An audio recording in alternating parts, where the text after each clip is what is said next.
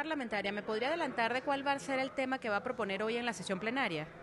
Eh, bueno, eh, tengo como asunto entrado una declaración a favor de la campaña G-Igual, que es un tema de igualdad del 50-50, que es una campaña internacional que se está llevando adelante para buscar la igualdad de la representación, sobre todo de ambos géneros, pero sobre todo de la representación femenina en los organismos internacionales, como por ejemplo el tema de Naciones Unidas, la Corte Penal Internacional. Hay una desproporción impresionante de, diferencias, de desigualdad de género, donde son organismos que con convenciones y con trabajen se, deciden los destinos de la humanidad, los destinos de todas las personas y la mitad de la, ciudadana, de la ciudadanía no está representada. Entonces nosotros pedimos que se haga un esfuerzo justamente para que estos organismos internacionales tengan la representación del 50-50. 50 de mujeres y 50 de hombres. Y en ese sentido yo tengo el orgullo que la canciller argentina, que es una mujer, Susana Malcorra,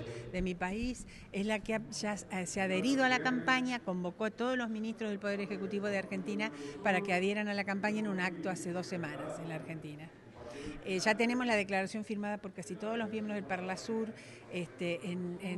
acá representados en el Parla Sur, todos los miembros de todos los países, y lo que abogamos es que esto también se cumpla en el Parla Sur, tanto en la representación que vienen como parlamentarios, como también las instancias eh, de cada país miembro.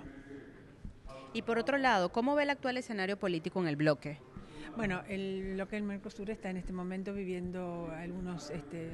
eh, algunas cuestiones del devenir histórico de, de, lo que ha ocurrido, sobre todo en Brasil y lo que está ocurriendo también en Venezuela. Em, tenemos algunas situaciones, eh, digamos, es muy importante la presencia de un bloque de integración del Mercosur con la representación que tenemos con los países. Si bien está en proceso de integrarse definitivamente y plenamente Bolivia, nosotros abogamos para que Bolivia tenga realmente eh, rápidamente voz y voto, solamente tiene voz en este momento. Y en el caso de Venezuela, que es un caso tan este, preocupante por la situación que está viviendo interna este país, lo que pedimos y solicitamos a todos los representantes venezolanos es una situación de diálogo interno, que tenemos que